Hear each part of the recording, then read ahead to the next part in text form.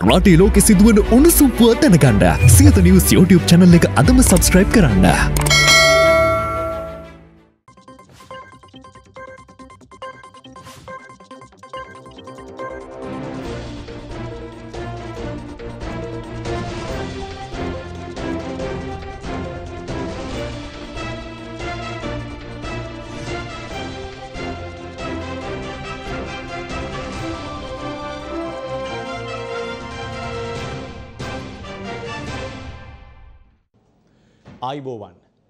කාලීන තොරතුරු වාර්තාකරණයේ අංක එක හරිදේ හරියටම කියන සියත රාත්‍රී පුවත් විකාශයයි මෙලෙසින් ආරම්භ වන්නේ. මම චමුත් සත්‍යපාල ප්‍රථමෙන් අවධානය පුවත් සිරස්තල වෙත. අන්තරේ අදත් කොළඹට පොලිසියෙන් ජල හා කඳුළු ගෑස්.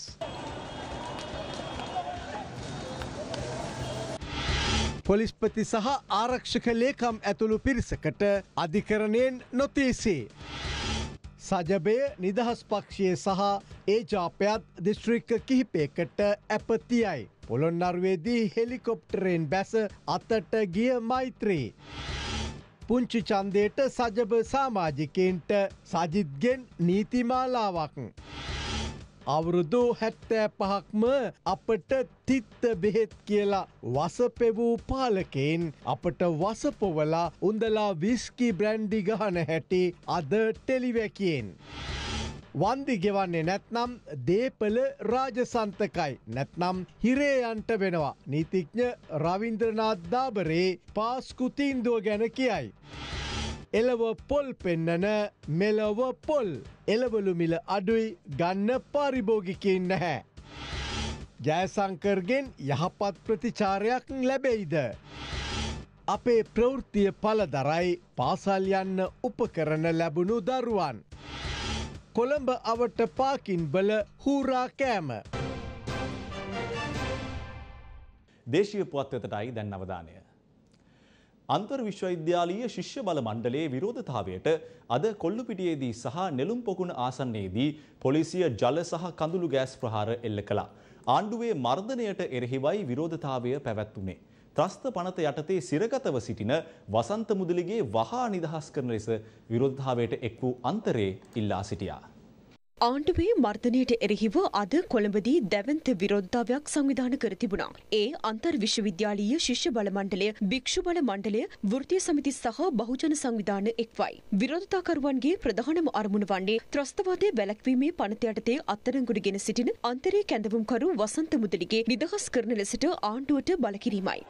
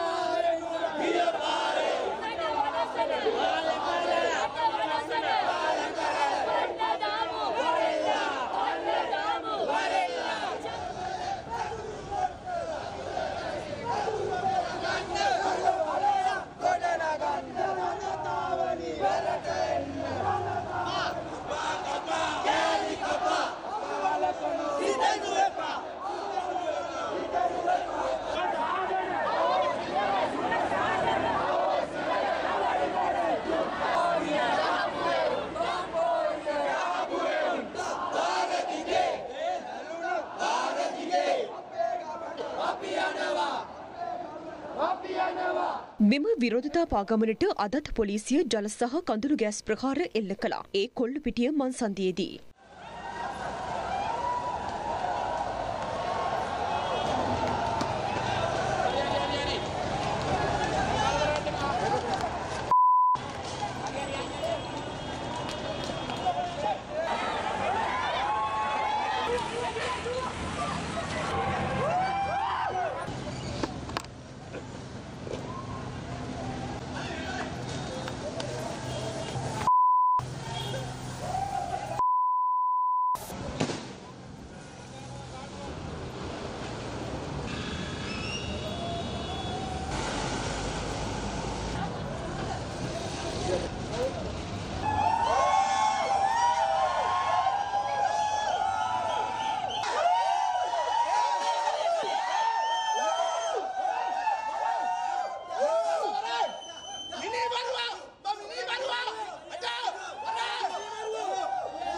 ඉන් අනතුරුව යළිත් විරෝධතාකරුවන්ට නෙළුම් පොකුණ අසලදීද පොලිසිය ජල සහ කඳුළු ගෑස් ප්‍රහාර එල්ල කළා.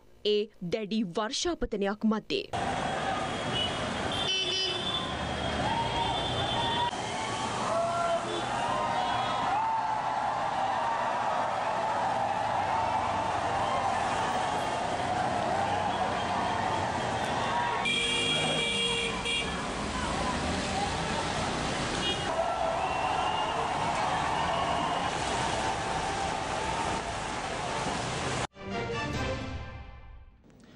දිවයින පුරා මැති ඇමති නිවාස ගිනි තැබීමේ සිද්ධිවලට අදාළව අපරාධ නීතිය යටතේ ක්‍රියා කරන ලෙස ඉල්ලා ගොනු කළ රීට් පෙත්සම විභාගයට ගැනීමට අභියාචනා අධිකරණය අද අවසර දුන්නා. ඒ අනුව අදාළ පෙත්සම සම්බන්ධයෙන් පෙබරවාරි මස 24 වනදා අධිකරණයට කරුණු දක්වන්නයි පොලිස්පති ආරක්ෂක ලේකම් යුද හමුදාපති ඇතුළු පිරිසකට අධිකරණය නොතීසී නිකුත් කළා. මැයි නවවනදා සිද්ධීන් වලින් නිවාස හානි වූ බන්දුල ගුණවර්ධන ගාමිණී ලොකුගේ ජනක බණ්ඩාර තෙන්නකෝන් ප්‍රසන්න රණතුංග ප්‍රසන්න රණවීර සිරිපාල ගම්ලත් එස්.එම්. චන්ද්‍රසේන ශහන් සේමසිංහ රෝහිත අබේ ගුණවර්ධන කෝකිලා ගුණවර්ධන සහන් ප්‍රදීප් ඇතුළු නිවාස හානි වූ දේශපාලඥයින් 39 දෙනෙකු අදාළ පෙත්සම් ඉදිරිපත් කර තිබුණා. මෙම පෙත්සම් සලකා බැලීම සඳහා කැඳ වූ අවස්ථාවේදී පෙත්සම්කරුවන් වෙනුවෙන් පෙනී සිටි ජනාධිපති නීතිඥ සංජීව ජයවර්ධන අධිකරණය හමුවේ කරුණු දක්වමින් ඉකුත් මැයි නවවනදා එකම වේලාවක් තුළ සංවිධානාත්මක පිරිසක් පෙත්සම්කරුවන්ගේ නිවාස ගිනිබත් කිරීම සිදු කළ බවයි සඳහන් කර ඇත්තේ. සන්නත ආරක්ෂක නිලධාරින් බලා සිටියදී වත්මන් ජනාධිපති රනිල් වික්‍රමසිංහගේ පුද්ගලික නිවස පවා ගිනිබත් කොට එහි තිබූ වටිනා පොත් 4000කට ආසන්න සංඛ්‍යාවක් විනාශ කෙරුණු බවත් වත්මන් ජනාධිපතිවරයාද මෙම ප්‍රචණ්ඩ ක්‍රියාවලින් වින්දිතයෙකු බවට පත් වූ පුද්ගලෙක් බවත් ජනාධිපති නීතිඥවරයා පවසා තිබෙනවා. 4500කට අධික සන්නද්ධ හමුදා පිරිසක් සේවය යොදවා සිටියදී මේ ආකාරයේ ප්‍රචණ්ඩ ක්‍රියා සිදුවන්නේ කෙසේදයි ප්‍රශ්න කළ ජනාධිපති නීතිඥවරයා මෙවැනි අපරාධ ක්‍රියා වැළැක්වීමට කටයුතු නොකර ඔවුන් සිය රාජකාරිය පැහැරහල ආකාරය මේ තුළින් පැහැදිලි වන බවත් කියා සිටියා. මෙම ගිනි තැබීමේ සිද්ධීන් පිළිබඳව පරීක්ෂා කිරීම සඳහා හිටපු නාවික හමුදාපති වසන්ත කරන්නාගොඩගේ නායකත්වයෙන් පරීක්ෂණ කමිටුවක් පත් කර විමර්ශනයක් සිදු කර එම කමිටු වාර්තාව ජනාධිපතිවරයා වෙත ඉදිරිපත් කර ඇති බවත් ජනාධිපති නීතිඥවරයා සඳහන් කළා. අදාළ ප්‍රචණ්ඩ ක්‍රියා වැළැක්වීමට පියවර ගන්නා ලෙස දන්වමින් ආරක්ෂක අමාත්‍යාංශය විසින් නිකුත් කරන ලද උපදෙස් පවා එවක යුද හමුදාපතිවරයා විසින් ක්ෂේත්‍රයේ සිටින අනදින නිලධාරීන් වෙත සංනිවේදනය කිරීමක් සිදු කර නැති බව කරන්නාගොඩ පරීක්ෂණ කමිටුවේ නිර්දේශවලින් අනාවරණය වී ඇතැයිද ජනාධිපති නීතිඥවරයා සඳහන් කළා. මෙම පෙත්සම සලකා බැලීම සඳහා කැඳ වූ අවස්ථාවේදී එහි වගුත්තරකරුවන් වෙනුවෙන් නීතිඥවරුන් පෙනී සිටියේ නැහැ. එහෙත් නීතිපතිවරයා වෙනුවෙන් පෙනී සිටි නියෝජ්‍ය සොලිසිටර් ජෙනරාල් කනිෂ්කාද සිල්වා අධිකරණය හමුවේ කරුණු දක්වමින් ප්‍රකාශ කළේ වසන්ත කරන්නාගොඩ පරීක්ෂණ කමිටු වාර්තාව අධිකරණයට කැඳවන ලෙස පෙත්සමෙන් ඉල්ලා ඇති බවයි. ආණ්ඩුක්‍රම ව්‍යවස්ථාවේ 35 වන වගන්තිය යටතේ ජනාධිපතිවරයාට එරෙහිව කිසිදු නඩු කටයුත්තක් පවත්වාගෙන යාමට නොහැකියයි සඳහන් කළ රජයේ නියෝජ්‍ය සොලිසිටර් ජෙනරාල්වරිය ඒ අනුව අදාළ වාර්තාව කැඳවීම සම්බන්ධයෙන් නියෝගයක් නිකුත් කිරීමට අධිකරණයට හැකියාවක් නැති බව සඳහන් කළා. ඉදිරිපත් වූ කරුණු සලකා බැලීමෙන් අනතුරුවයි අධිකරණය මෙම නියෝගය නිකුත් කළේ. පළාත් පාලන මැතිවරණයට සමගි ජනබල වේගය ශ්‍රී ලංකා නිදහස් පක්ෂය සහ එක්සත් ජාතික පක්ෂය අද දිස්ත්‍රික්ක කිහිපයක් සඳහා ඇප තැන්පත් කළා. ඇප මුදල් බහරගන්නා අවසන් දිනය වන්නේ ලබන විසිවනදායි.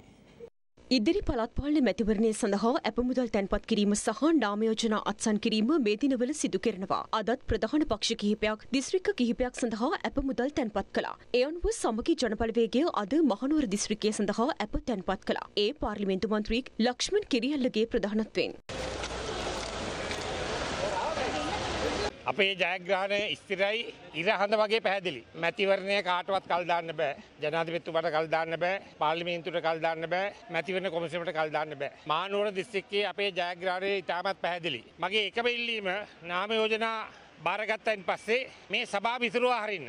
වහාම කුරුණෑගල දිස්ත්‍රික්කය සඳහා සමගි ජනබලවේගය ඇප තැන්පත් කළේ කුරුණෑගල දිස්ත්‍රික් නායක පාර්ලිමේන්තු මන්ත්‍රී අශෝක් අබේසිංහගේ ප්‍රධානත්වයෙන්. දැන් ඇති වෙලා තියෙනවා අලි පොහොට්ටු සන්ධානය. මේක ජනතාව හඳුන්වන්නේ බලු කපුටු සන්ධානය කියලා. මේ අලි පොහොට්ටු සන්ධානය එකට එකතු කරලා පරාජය කරන්න ඉදිරි පළාත් පාලන මැතිවරණයේ රට පුරාම ජනතාව පෙළ ගැහිලා ඉන්නවා. ඒකට කුරුණෑගල දිස්ත්‍රික්කයේ පළාත් පාලන ආයතන 21 සමස්ත ජනතාව පෙළ ගැහිලා ඉන්නවා. මේ පසුගිය දිනක මොලහතානෝ කියනවා අපිට පාරේ බැහැලා යන්න ඇතික පුළුවන්කම දුන්නේ රනිල් වික්‍රමසිංහ කියලා. ඒක හින්දා වෙන්න ඇති මේ බලු කපුටු සන්ධානය හැදිලා අලිපොහොට්ටු සන්ධානයෙන් ඔවුන් මේ මැතිවරණයට මුහුණ දෙන්නේ. සමගි ජනබලවේගය අද කෑගල්ල දිස්ත්‍රික්කය සඳහාද ඇප තැන්පත් කළා. ඒ පාර්ලිමේන්තු මන්ත්‍රී කබීර් හෂිම්ගේ ප්‍රධානත්වයෙන්. ගාල්ල දිස්ත්‍රික්කය සඳහා සමගි ජනබලවේගය ඇප තැන්පත් කළේ පාර්ලිමේන්තු මන්ත්‍රී ගයන්ත කරුණාතිලකගේ ප්‍රධානත්වයෙන්. මේ මැතිවරණය නොපවත්තා ඉන්න පුළුවන් එක එක බිල්ලෝ රටට පෙන්න්න හැදුව. පඩි ගෙවන්න වෙන එකක් නෑ කිව්වා. ඡන්දෙ තිබ්බොත් සමෘද්ධිය කපන්න වෙයි කිව්වා. ලයිට් කපන එක තව පැය ගණනකින් වැඩි වෙයි කිව්වා. ඒ සියලු උප්පරවැට්ටි පරාජය වෙලා අද ජනතාවට තමන්ගේ මතය ප්‍රකාශ කිරීමට පළත්පාන ඡන්දය හරහා අවස්ථාවක් ලැබෙමින් පවතිනවා. සමගි ජනබලවේගය අද මාතර දිස්ත්‍රික්කය සඳහාද ඇප තැන්පත් කළා. ඒ පාර්ලිමේන්තු මන්ත්‍රී බුද්ධික පතිරණගේ ප්‍රධානත්වයෙන්. මේ අතර ශ්‍රී ලංකා නිදහස් පක්ෂයේද අද දිස්ත්‍රික්ක කිහිපයක් සඳහා ඇප තැන්පත් කළා. පොළොන්නරු දිස්ත්‍රික්කය සඳහා නිදහස් පක්ෂය ඇප තැන්පත් කළේ හිටපු ජනාධිපති මෛත්‍රීපාල සිරිසේනගේ පුත් දහම් සිරිසේනගේ ප්‍රධානත්වයෙන්. විශේෂයෙන් අපි ශ්‍රී ලංකා නිදහස් පක්ෂය විදියට පොළොන්නරුව අපි අතිවිශිෂ්ට ජයග්‍රහණයක් කරනවා. ඒ වගේම පොළොන්නරු දිස්ත්‍රික්කය විතරක් නෙවෙයි මෙවර ඉතාමත් උගත් බුද්ධිමත් තරුණ වගේම අපේක්ෂකයන් ශ්‍රී ලංකා නිදහස් පක්ෂය වෙනුවෙන් අපේක්ෂකත්වය ලබලා තියෙනවා. ඒ නිසා අපි අ, පොළොන්නරු දිස්ත්‍රික්කය වගේම මුළු රටම ශ්‍රී ලංකා නිදහස් පක්ෂය විදියට අපි ඉතා අතිවිශිෂ්ට ජයග්‍රහණයක් කරනවා. මහනුවර දිස්ත්‍රික්කය සඳහා ශ්‍රී ලංකා නිදහස් පක්ෂය ඇප තැන්පත් කළේ නියෝච්‍ය මහලේකම් සරත් ඒකනායකගේ ප්‍රධානත්වයෙන්. මේ අතර එක්සත් ජාතික පක්ෂයද අද ගාල්ල දිස්ත්‍රික්කය සඳහා ඇප තැන්පත් කළා. ඒ එක්සත් ජාතික පක්ෂ සභාපති පාර්ලිමේන්තු මන්ත්‍රී වජිර අබේවර්ධනගේ ප්‍රධානත්වයෙන්. දූෂණය වංචාව නාස්තිය අක්‍රමිකතා සහ අකාර්යක්ෂමතාව ගැන රටට ඇත්ත කියන ටෙලිවිෂන් ටෙලිවැකිය දැන්.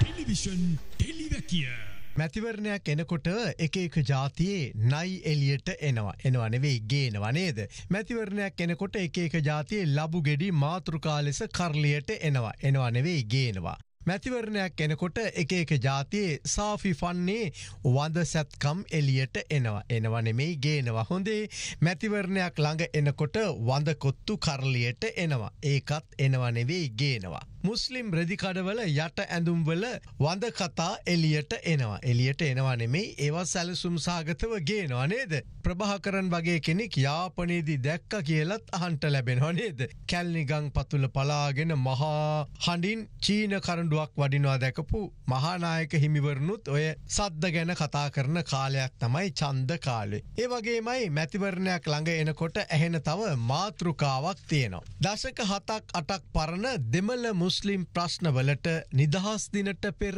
එකැනි පෙබරවාරි හතරට පෙර නේද?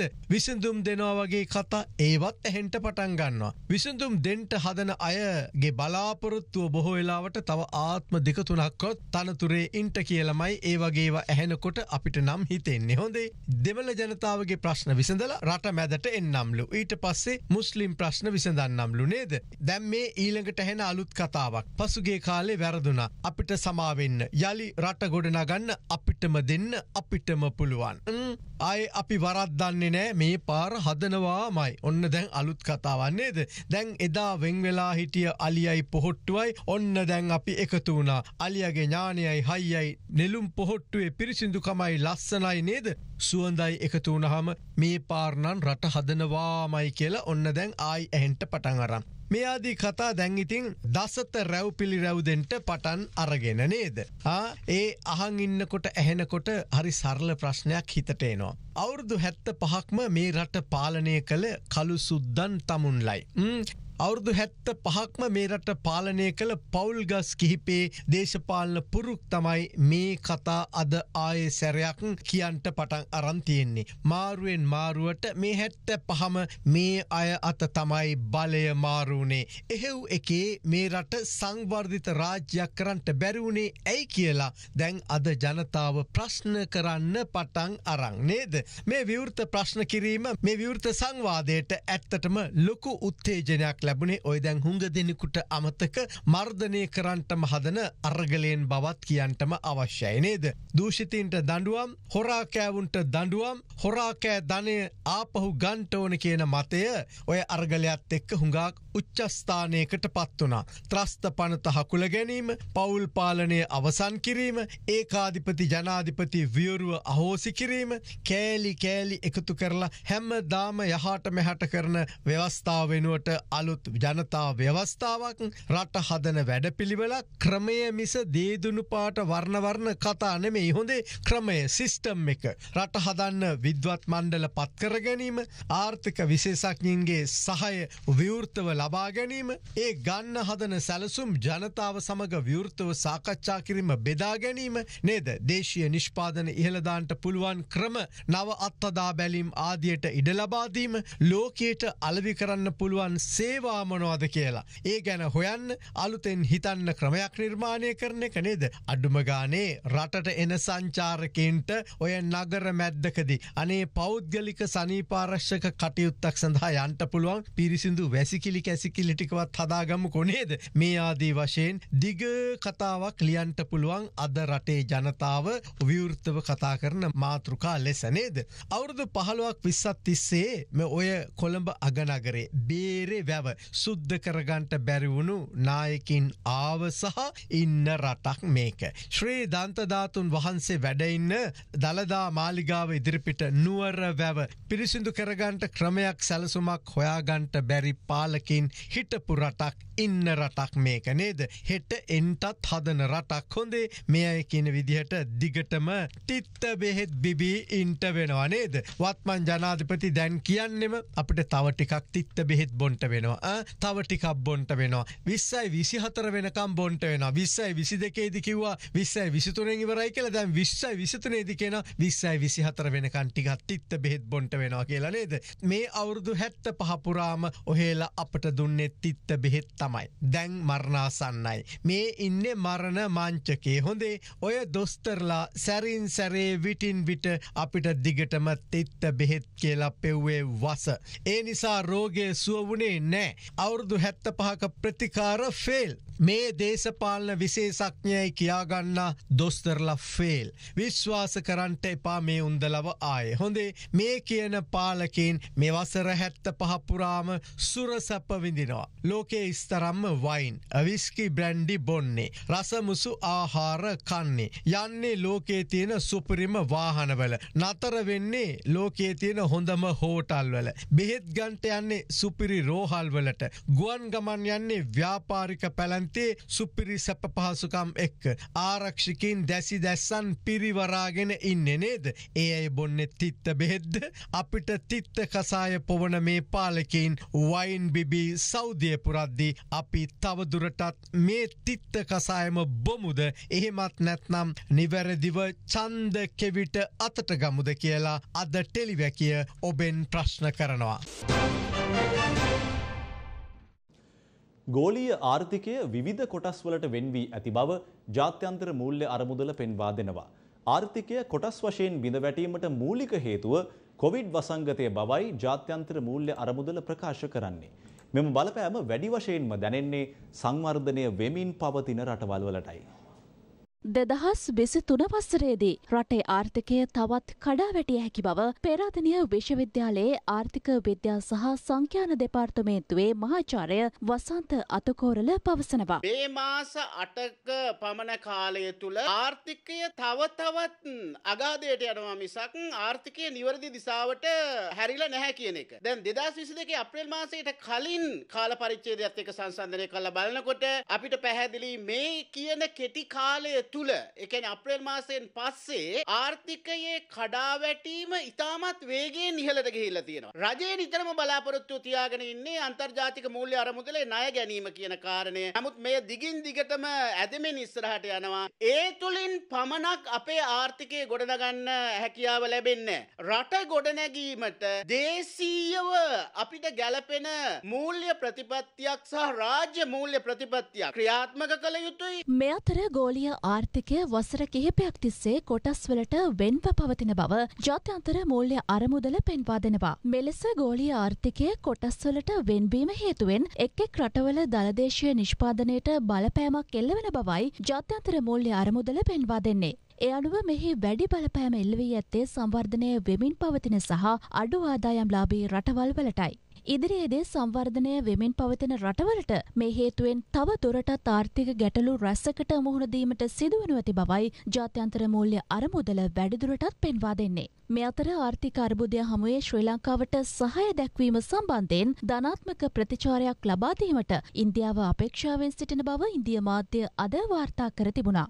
එලබෙන දහ නවවනදා ඉන්දිය විදේශ අමාත්‍යය එස් ජයිශංකර් මෙරට සංචාරයක නිරතවීමටද නියමිතයි. එම සංචාරයේදී බලශක්ති ආහාර සුරක්ෂිතතාව විනිමය හුවමාරුව සම්බන්ධව සහ ණය ප්‍රතිව්‍යුහගත කරණය පිළිබඳව සාකච්ඡා පැවැත්වීමට නියමිත බවයි ඉන්දිය මාධ්‍ය වාර්තා කරන්නේ. අපේ රටෙත් මේ රටින් පිටගිය ශ්‍රී ලාංකිකයින්ගේත් ඇස්වල කඳුළුත් හදවතේ තෙතමනයත් තාම තිබෙනවා. ඒ බව සනාත වෙන්නේ අප විකාශය කළ ප්‍රවෘතිවලට ලැබෙමින් පවතින ප්‍රතිචාර නිසයි. මේ වගේ පවුල් නිතර දකිින්ට ලැබෙන බව ඇත්ත. අඳුරට සාප කරනවට වඩා එක පහනක් හෝ දල්වන්නට පුළුවන් නම් නේද හොඳ.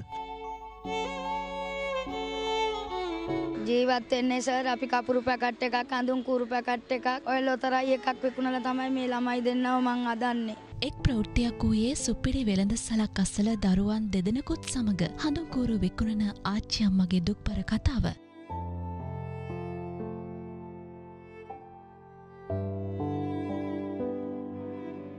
ඒ දරුවන් දෙදෙනට අවශ්‍ය දේවල් අරන් දෙන්න ඇමරිකාවේ සිටින සම්සුඩීන් මොහොමට මහතා පියවරගත්තා. දරුවන් දෙදෙනටම අවශ්‍ය පාසල් සපත්තුවේ සිට සියලුදේම අපි මේ දරුවන්ට බාරදුන්නා.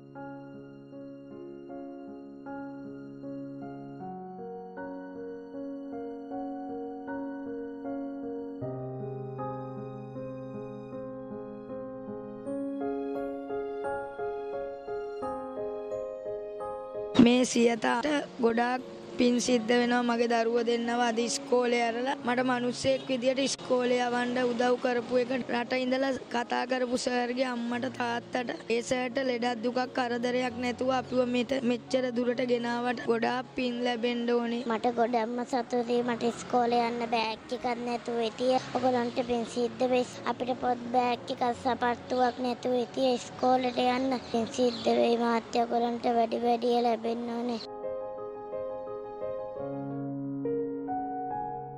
සම්සුඩීන් මොහොමට් ස්තුතියි ඔබට.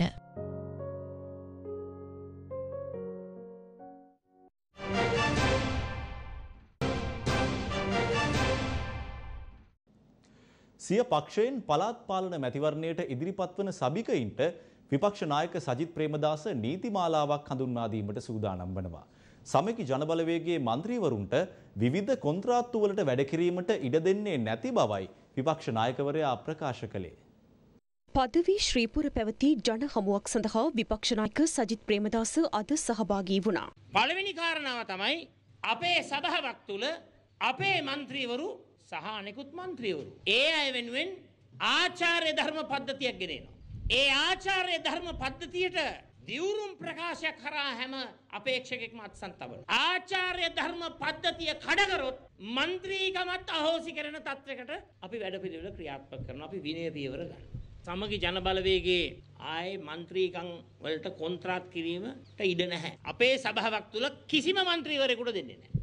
ඒක තමයි පළවෙනි දේ. දැන් සමහරෙක් අහයි සජිත් මේව ඔක්කොම කොහොමද කරන්නේ? මේක කොහොමද මධ්‍යම ආණ්ඩුවක් නැතුව පළාත් සභාවේ බලයක් නැතුව කොහොමද කරන්නේ? හැම පළාත් පාලන ආයතනයක්ම අපි සම්බන්ධ කරන අලුත් වැඩපිළිවෙලක් කරා මේක ලෝකේ බොහෝ රටවල් කරන දෙයක් අපේ රටේ විතරයි කරෙන්නේ නැත්තේ මේක මගේ තාත්තා පටන් ගත්ත දෙයක් විදේශීය පළාත් පාලන ආයතනයත් එක්ක බද්ධ වෙලා ඒවයින් සම්පත් ලබා ගැනීමේ වැඩසටහනක් අපි ක්‍රියාත්මක කරගෙන යනවා. මම දැනටමත් ලෝකයේ විවිධ රටවල් වල පළාත් පාලන ආයතනත් සමග මම ඒක සාකච්ඡා කරගෙන යනවා. ඒ සිස්ට සිටි රිලේෂන්ශිප් එකෙන් මේ පදවි ශ්‍රීපුර පළාත් පාලන ආයතනයක් ශක්තිමත් වෙනවා.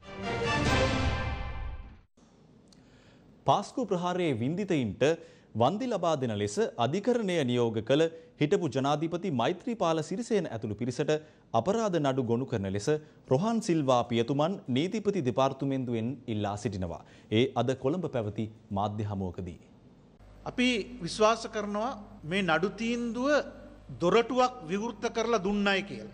මේ කරුණු කාරණා තව ඉස්සරහට රැගෙන යන්න. ඒ තමයි සාපරාධී අතපස්වීමක් වෙලා තිබෙන නිසා සාපරාධී නඩු පැවරීමට මේ නඩු තීන්දුව මහිතන්නේ අපිට පාදක කරා ගැනීමට පුළුවන් කියන එක අපි විශ්වාස කරනවා. ඒ නිසා ඒ සාපරාධී නඩු ගොනු කිරීම මහිතන්න මේ වෙලාවේ කළයුතුව තිබෙන්නේ නීතිපති දෙපාර්තමේන්තුව විසි. එහෙම නොවනොත් අපිට අපි විශ්වාස කරනවා හොයාගන්නට බැරුව යනවා මේ මහා ව්‍යසනය සැලසුම් කරපු සහ මේ ව්‍යසනය ක්‍රියාවකට නංවන්නට එක්කාසුණු කණ්ඩායම කෞුද කියල හොයාග. එම නිසා අපි ඉල්ලා සිටිනවා ඒ වරදකරුවන් වෙච්ච ඒ කණ්ඩායමට අපරාධ නඩු ගුණු කරන්නට කියන ඉල්ලීම අපි මේ අවස්ථාවදි කරන්නට කැමති.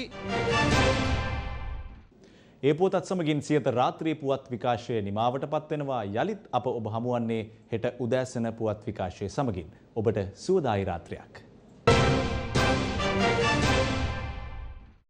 දෙනපතා අලුත් වීඩියෝ සහ ප්‍රවෘත්ති නැරඹීමට ඉහත බටන එක ක්ලික් කර සියත TV සබස්ක්‍රයිබ් කරන්න.